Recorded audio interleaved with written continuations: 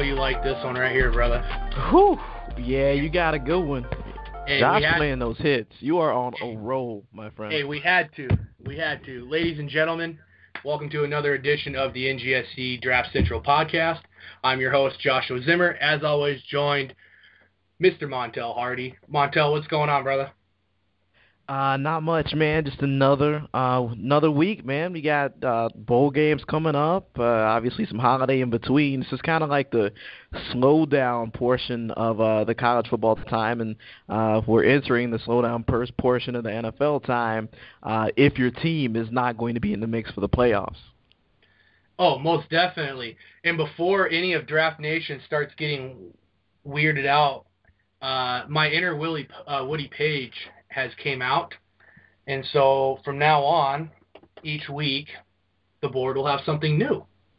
And for those who aren't on Periscope, the board says Coach Zimmer may or may not be my uncle. Now I can neither confirm or deny this, and we're just going to leave it at that. So please think what you think. Um, but I mean, if it helps, I am a Vikings fan. Uh, so without further ado, we could talk about Woody Page and his antics all day long, and the fact that I may be related to uh, Mike Zimmer, but that's not what we're going to talk about this evening. Montel, dude, I tell you what, man, this was a good week of college football um, in terms of the news that has came out. Uh, obviously, the biggest mm-hmm. news is the fact that the whole Robert Nkemdiche situation um, dude, I don't even know where to begin with this. Um, I was pretty dumbfounded when I read about this over the weekend. It just does not make any sense to me. Uh, for those who haven't heard it, uh, Robert Nkemdiche, obviously a top talent in this draft. I mean, he's in my top 10. Montel, I'm more than likely going to bet that he's in your top 10 as for our updated rankings. He's in everybody else's top 10 or even top 5. Uh, was at a hotel room. Obviously, was having some fun, some partying. You know, getting rid of uh, mm-hmm. the stress of finals, and was on Spice. I believe they called it K2, uh, that I'm unfamiliar with, which is basically a synthetic. And he, long story short, jumped out of a window, fell off a ledge, and fell 15 feet.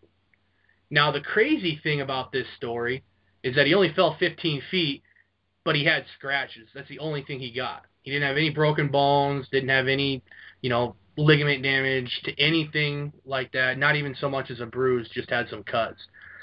Uh, so thank God, number one, he's all right. Uh, number two, man, he must take care of his body if uh, he didn't develop anything on those falls. But number three, and this is the thing that we need to talk about, Montel, real quick, is his draft stock. What necessarily, in your mind, what's this do to his draft stock? Uh, sure, Josh. Uh, well, well, first off, first, I, I didn't have Nkemdiche in my top ten to begin with. You know, we talked about it. I like him. I, I think he can play a good three tech. If he's, you know, big like people say he is, he can definitely be a five tech for someone. But initially, I wanted to see how much he weighed. Uh, that was one of my bigger questions about him. And I, you know, if you look at the tape, is you know, there's some questions, and and now you have some character issues. So you know, it's going to take a huge hit here I think if you're the biggest Nkemdiche fan, you've got to at least put him towards the bottom of the first. Uh, me personally, I'm moving him completely out of the first and then and into the second somewhere uh, as details comes out. Now, this is always assuming that he uh, is completely healthy right now, goes to the combine and performs well, and doesn't get any uh, doesn't get into any trouble uh, in between then and now. So uh, a lot of you know factors have to contribute to it. But yes, he does lose some draft stock here, and in mo- on most boards, on any reputable board, uh, moving forward into this week, he should be off the first round list. Yeah, and uh, somebody from Draft Nation actually had a good comment about that. He said, in this day and age, nothing he could go to the Cowboys, and then comments with uh, "Don't we wish?" You know, I completely agree. You know, this, this is the enigma of this situation is that number one, it was a one-time thing. Uh, it wasn't like a Randy Gregory situation where we had last year, where you know he failed the drug test at the combine, and then it came out that not only did he have some problems with the coaching staff, but also had multiple failed drug tests. As we know right now, this is his first run in with the police, is with the law. Regardless of the fact, I mean, come on. Dude, you had to be clean and smart for six months. That's all you had to do. And We mm-hmm. had this conversation last year about Randy Gregory. This is a this is the situation in this day and age that it's not going to matter. More than likely, you know, he's going to get his talk at the combine. He's going to get his story out. He's going to get his side out, and the truth will come out eventually. I don't buy his apology. You know, the apology that he read. Um, I mean, as it's sincere, and again, great for him to apologize. But the fact of the matter is, when you are at the platform that you are, which he said, I am at a platform and worked hard to be at this platform. I need to be the right role model to younger players and younger people. Well, falling out of a ledge 15 feet isn't necessarily a good way to get that started on the right foot there, buddy. But mm-hmm, I don't know. Mm-hmm. Character concern, he's out of the first round. Talent wise, he's still a top 15 yeah. pick. The biggest issue is going to be what do the teams think of this? If they grade it as much as bad as the whole Randy Gregory situation last year, then we should be okay, and we will. Our guy, part of Draft Nation, is going to get his wish and he's going to fall out of the first round. If not, if people view it as a Johnny Manziel type situation to where they think he could still come in and be, you know, whether it be sell tickets, like that's what they drafted Johnny for, guys. I'm sorry, but just admit it, Browns fans. Or that he can mm-hmm. be a straight contributor and an impact player right away, he's going to probably be a first round pick.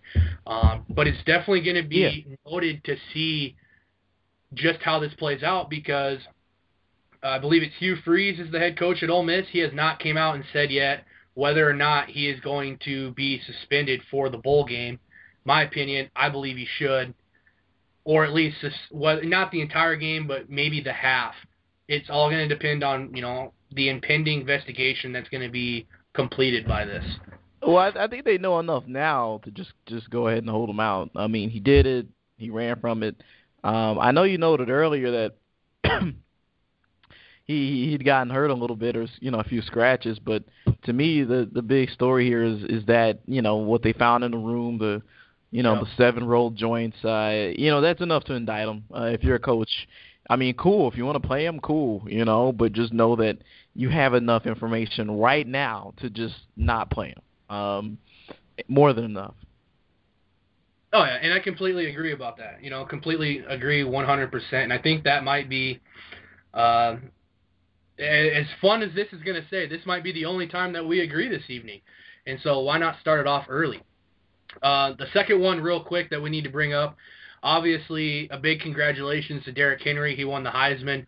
Well deserved. Um, everybody knows that I was pulling for Christian McCaffrey. It didn't play out. Montel, we should have bet on it. You would have won. But yeah. in all in all honesty, congrats to Derrick Henry. And now finally, in terms of Draft Nation, uh, across the country or the draft community, example, uh, he's finally starting to get the love that he deserves in terms of a prospect. Um, while people are still dogging him at that point, we're going to have a long way to go. Um, the second biggest news, obviously, is the fact that Oregon poached another FCS quarterback.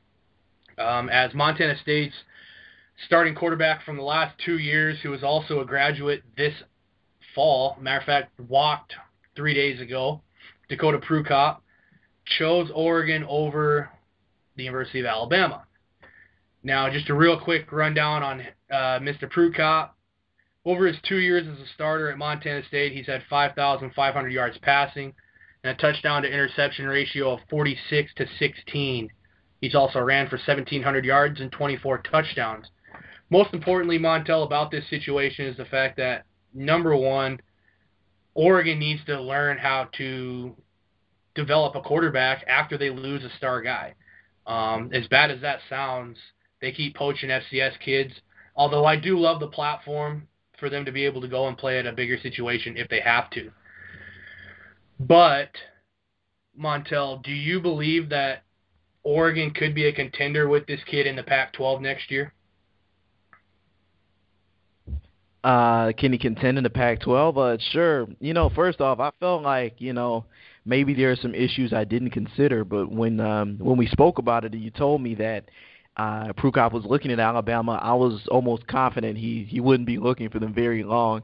Uh, they have a five-star quarterback prospect in Blake Barnett, who's uh, I mean, he's going to want to play, and I think next year should be his year um, or or they got Cooper Bateman. Uh, so that's you know when you when you transfer like that, you don't really want to see that much competition, and uh, he he would have got his hands full over in, in Tuscaloosa with those two quarterbacks. Uh, moving back to the the Oregon situation. Uh, it's also not you know too far. I don't know where home is for him. Is is he initially from Montana? But but Oregon uh, no, would be pretty. He's a, he's a Texas kid. Uh, oh, he's, a Tex. Okay, well, okay, yeah, okay, yeah. Either way, I guess it wouldn't be much of a difference. But uh, if he were to go to uh, to Oregon, at least uh, he knows that by default he'd have to have less competition. I don't know who Oregon's pulled in at quarterback, but uh, I guarantee you he can't hold a candle to Blake Barnett. That's one of the better quarterbacks I've seen, and this is just going off of uh, you you know what I've seen in some of his high school stuff uh, leading up to uh, the Elite Eleven camp. So yeah, Josh, I think he can contend though. Uh, we've seen uh, uh, what their current guy uh, Vernon Adams, right? He he didn't really get over there till you know maybe midsummer. He had to learn the playbook. We you know they didn't know if he'd pass his class or not to be able to transfer. Um, at least Prukop's going to get more time. It looks like I don't think it'll come down to a final exam for him. Uh, the more time, the better. I think he maybe will start a little slower like Adams did, but I'll tell you right now, it appears that he's got better arm talent than Adams, and uh, in Oregon's offense, that can take you a very long way. Yep. Especially with the way that it's such a similar type offense. Montana run or Montana State, excuse me. Sorry, folks. Uh, Montana State runs a very similar spread offense type deal, and in terms of their passing trees and their passing concepts, they're very similar. And you brought up a good point with Dakota is the fact that you know he's already graduated, so we're not going to have to worry about whether or not he passes a class because he already walked. So he has his eligibility in play. The only thing he has to do is just has to be accepted to Oregon, which is not going to be a problem because if they want this kid, they're going to get him.